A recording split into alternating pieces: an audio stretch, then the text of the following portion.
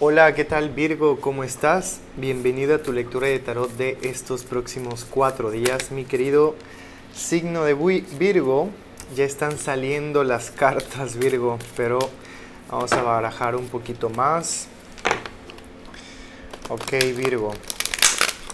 La lectura anterior estábamos revisando Virgo que había algo muy importante dejar atrás Virgo, pero se trataba más que nada de una como idea tuya que tú tenías respecto a una situación, una idea que no te estaba dejando avanzar, realmente que no estaba como fluyendo, que se estaba atorando mucho. Vamos a tomar estas tres cartas. Y mira, digo avanzar y justamente te sale la carta del progreso, o sea, del avance ante un estancamiento. Y ese estancamiento termina, eh, esto es para muchos grupos de Virgo que están ahorita conectados. Vamos a leer primero ahorita la energía general, después el amor, el trabajo y finalmente el mensaje de tus ángeles, Virgo.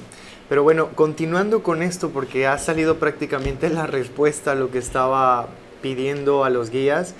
Em, cuando nos sale primero esta carta que en el Tao representa el oscurecimiento de la luz, quiere decir Virgo que de alguna manera estás aceptando las cosas como son. Cuando se oscurece la luz y llega la noche, es cuando nos enfrentamos de alguna forma a nuestros miedos, a nuestras memorias, pero también empiezan a fluir las ideas creativas. Y aquí te das cuenta, Virgo, que tu poder espiritual, que tu mente no importa si está oscurecido todo, aprendes a sacar la luz. Aprendes a meditar y a estar tranquilo frente a los problemas, mi querido signo de Virgo. Aprendes a primero mirar hacia adentro y una vez que miras hacia adentro es cuando Virgo aprende a sacar como su escudo de energía de protección y dice, ok, si las cosas están así y yo ya sé cómo estar bien, cómo estar equilibrado, simplemente no voy a reaccionar, y voy a observar, voy a estar tranquila, voy a estar tranquilo. ¿Por qué? Porque aquí hay una situación y de nuevo nos, nos vuelve a salir esta carta que ha salido hace 6, 5 y 4 lecturas, en las últimas ya no, pero transmutual, la energía muy impulsiva. Esta carta nos representa que hay un aspecto de tu vida en el que tú te sientes como en un punto muerto, en donde ya no hay más hacia adelante, pero ni siquiera volviendo atrás o viendo a las personas del pasado realmente hay algo. Pero ese punto muerto, Virgo, tienes que aprovecharlo porque es como un vacío que no estás aceptando. Es un vacío de decir, ok, si ya me liberé de tantas cosas, ¿por qué no acepto esta liberación para comenzar de nuevo? Para comenzar un nuevo camino. ¿Por qué en vez de alinearme, es, eh, eh, exijo, perdón, em, decido y sí, suena como una exigencia, que tal vez suene mucho pedirte para ti cambiar de rumbo, porque Virgo generalmente es muy certero, le gusta ir muy a lo profundo, le gusta ir a Virgo a las cosas seguras y honestas, y cuando no recibe lo mismo, Virgo se siente así. Y cuando tú decides y aceptas precisamente esta oscuridad es cuando vuelve a nacer la luz, es cuando se activa la tercera carta, que es la carta del desarrollo. La carta del desarrollo de alguna manera nos están diciendo Virgo, Virgo este momento para muchos que lo estén experimentando de forma muy negativa es simplemente un date cuenta Virgo del gran poder y energía que tienes que no estás utilizando para transmutar tu realidad. Y te están diciendo el universo te apoya para que esta rueda del Dharma, esta rueda que tiene 5, 6, 7, 8, sí, es una rueda completamente equilibrada que simboliza el infinito para que continúes, para que en algún punto de tu vida en el que te empezó a ir bien, en algún punto de tu vida en el que realmente las cosas iban fluyendo, pero por alguna razón tuviste que eh, activar un aprendizaje, eh, comenzó una especie como de karma. El karma no es malo, el karma son aprendizajes que si no aprendemos, no podemos avanzar. Y si no aprendemos algo, el universo no nos va a demostrar lo siguiente que hay. Es como si te lo imaginaras como si hubiese niveles. Si te pone una situación enfrente es para que de forma sabia, amorosa, compartida y energética y sobre todo creativa tú la resuelvas.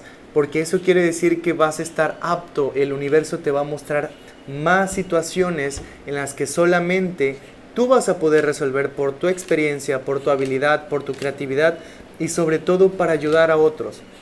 Es como un, tiempo, eh, Virgo, en el que tú estás escalando muy rápido y a veces te quedas congelado porque dices, no la quiero regar, no quiero fallar en este nivel, por así decirlo. Pero realmente, Virgo, tú ya vas a empezar a, a utilizar ahora sí tu energía interna. De alguna manera, tu alma es como si te pidiera, a ver, una explosión para que Virgo despierte y no desperdicie el gran poder energético que tiene adentro. ¿De acuerdo Virgo? Bueno, eh, esto es solamente la energía general. Vamos a revisar ahora Virgo qué es lo que está pasando, qué es lo que está sucediendo en este momento para mi querido signo de Virgo.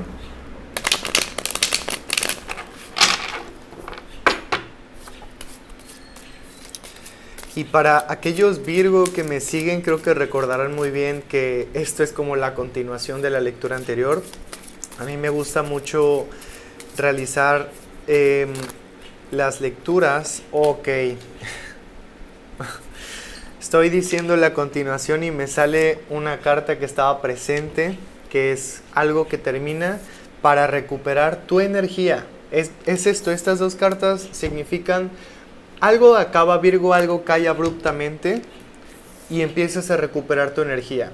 El universo te devuelve la energía. Eso es el as de bastos. Un regalo para elevar tu energía. Ok. Vamos a tomar estas cartas y vamos a revisar Virgo qué es lo que nos quieren compartir los guías Virgo. Wow.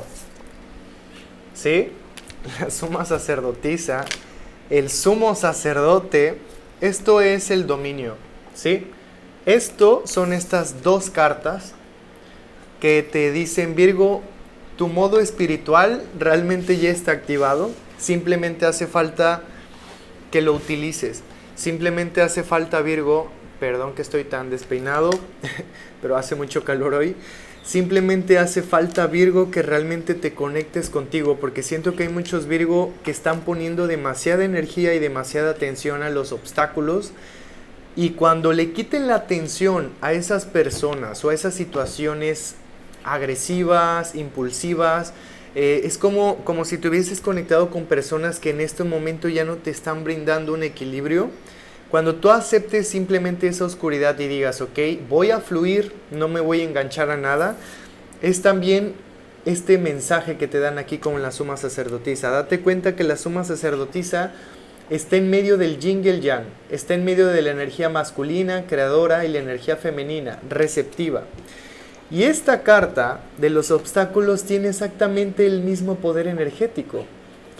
Y esta carta del estancamiento viene a resolverse con la intuición, con la magia, con el poder, con la sabiduría de la suma sacerdotisa, que es una persona que ya tiene tal experiencia de, la oscuridad, que no le da miedo a la oscuridad, al contrario, aprovecha la oscuridad para aprender más, para ver el fondo y la gravedad de las situaciones y de ahí sacar soluciones, y después crea con la luz.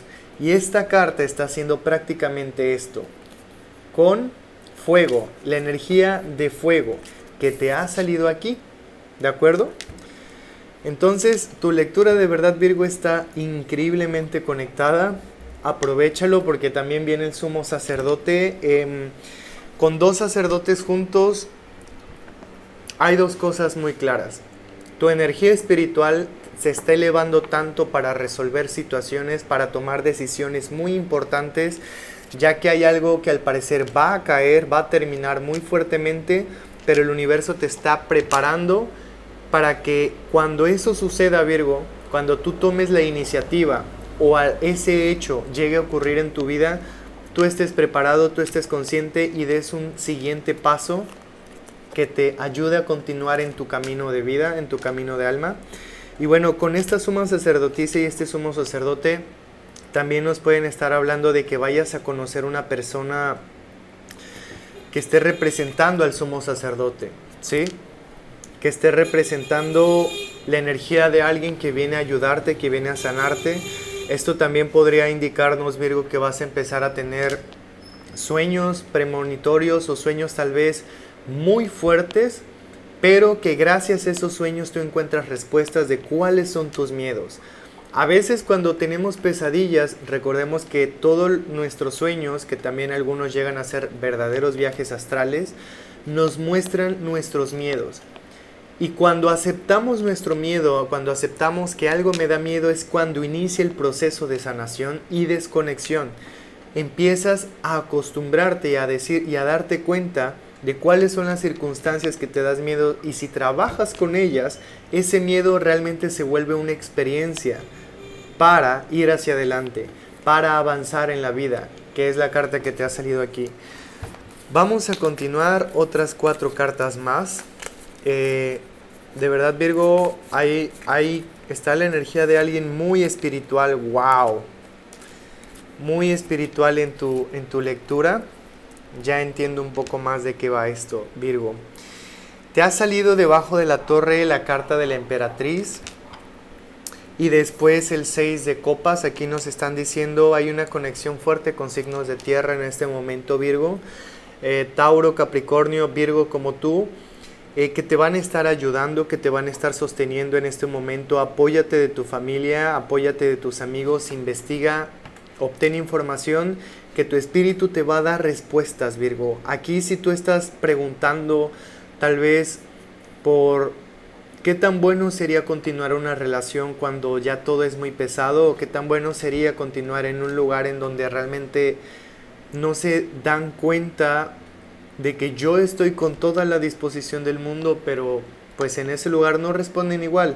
Tómalo como una experiencia y tómalo desde la perspectiva de una emperatriz, una emperatriz que sabe lo que hace y que no está como jugando, porque la emperatriz por algo llegó a ser emperatriz. Eso siempre lo digo. Si te ha salido la emperatriz es porque es la energía de alguien que sabe manejar sus situaciones, que tiene cierta sabiduría. Y bueno, la emperatriz después de la suma sacerdotisa y el sumo sacerdote es alguien que ya tiene un camino de recorrido y es alguien que de alguna manera cuando despierte su conciencia espiritual va a decir, me perdono por haberme permitido tanto y sigo avanzando. ¿Y a dónde voy a avanzar primero? A sanar. Tú, Virgo, has, has perdido en el pasado, y esto lo voy a decir aquí porque es como la reflexión que nos está dando la lectura. Muchos Virgo en el pasado han perdido mucha energía con ciertas personas. Eh, se han conectado con personas que realmente han como te han dicho las mejores cosas, las cosas más maravillosas, porque Virgo siempre es un signo muy llamativo, muy atractivo, pero de alguna manera Virgo hay que aceptar que a veces tú le impones a los demás y por eso los demás no quieren continuar, porque es una cosa extraña que sucede que luego llegan a tener como envidia o celos de que tú llames tanto la atención y a veces hay personas muy posesivas, de verdad. A veces eh, yo me he dado cuenta que con Virgo le, se toca conectarse con personas muy posesivas porque Virgo es una persona maravillosa siempre, es una persona, es el signo de la conexión espiritual con la Madre Tierra y de alguna manera eh, esto es lo que ha causado como problemas y tú quieres sanarlo. Y de alguna manera Virgo, el que tú decidas sanar tu tus memorias, tus relaciones pasadas, no yendo a, contactar con esas personas, no, sino simplemente aceptar que así las cosas como han sido te traen aprendizajes. Aceptar el momento de oscuridad para poder volver a encender la luz.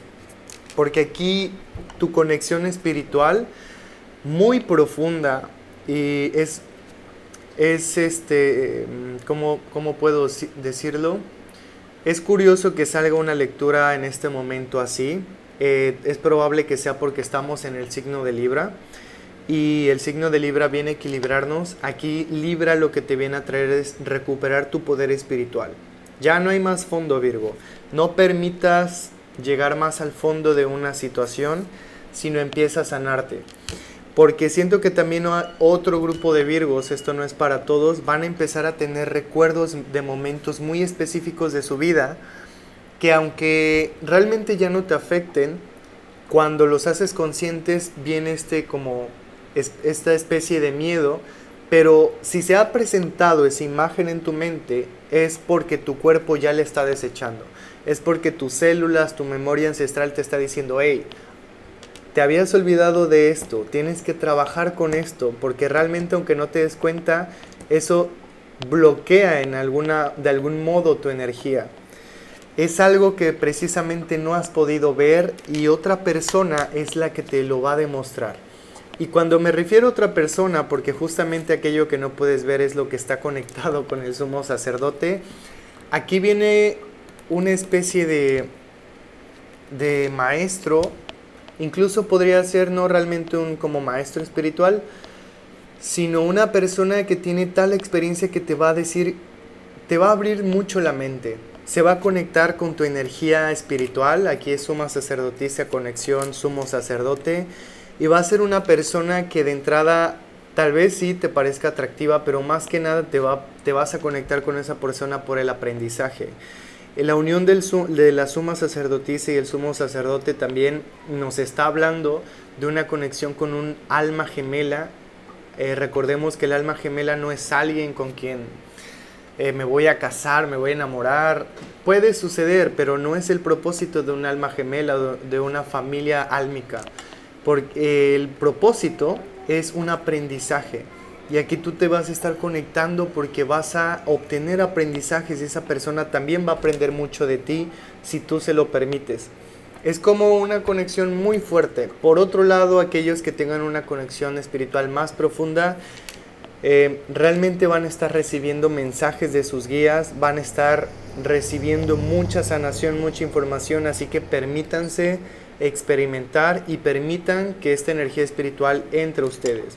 Aquí Dios, el universo, los ángeles, tus guías, como tú percibas eh, la energía divina, es eso, esa energía divina, la que te va a ayudar a salir de esta situación. De pronto, Virgo, te van a llegar ideas, te van a llenar eh, como necesidad de estructurar otra vez tu vida, de, de recapitular cómo ha sido los últimos periodos de tu vida, los últimos meses, y cómo volver a tomar el rumbo ya desde la experiencia, ya no desde el miedo, la inexperiencia, porque aquí el miedo veo que ya lo estás enfrentando.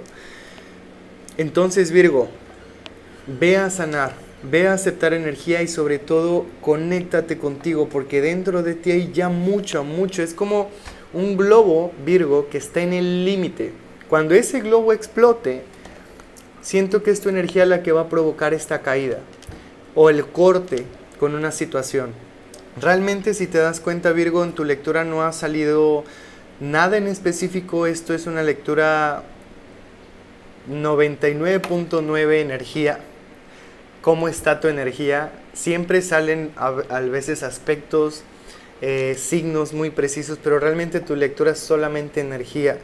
Si puedo hablarte de signos, te digo, es alguien, una persona con mucha sabiduría que puede ser cualquier signo y probablemente un apoyo emocional tal vez por parte de amigos o familia de un signo de tierra, especialmente Tauro. Pero sí, un signo de tierra o Tauro. Pero de ahí en fuera, con estas conexiones álmicas, realmente ya no puedo decir que importe tanto el signo, sino importa el aprendizaje que vas a obtener. ¿De acuerdo, Virgo? Bueno, Virgo, vamos a revisar Wow, de verdad que hace mucho calor, Virgo. tu energía está a tope.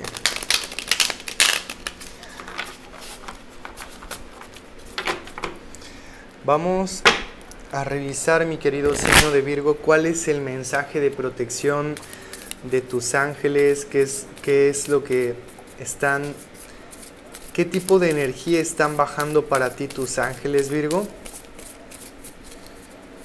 ¿Cómo es la conexión para ti en este momento? ¿De qué te están protegiendo? Dos ángeles. Muy bien. Oh, Virgo. Dos de espadas y la carta de la muerte. En el tarot, estas energías angelicales son las que representan estas cartas. No te espantes con la carta de la muerte porque eh, quienes ya tienen un poco de más conexión con el tarot saben que la carta de la muerte significa transformación, el renacimiento, algo tiene que morir, algo tiene que caer, ¿sí? Aquí vemos que cae. Y en la, en la energía de los ángeles, la carta de la muerte, que es el ángel número 72, que se llama Dios, el fin del universo, ¿sí? O la energía divina infinita y fin del universo es como el inicio y final, final e inicio. Te están diciendo, Virgo, vas a tener por fin finales y renacimientos.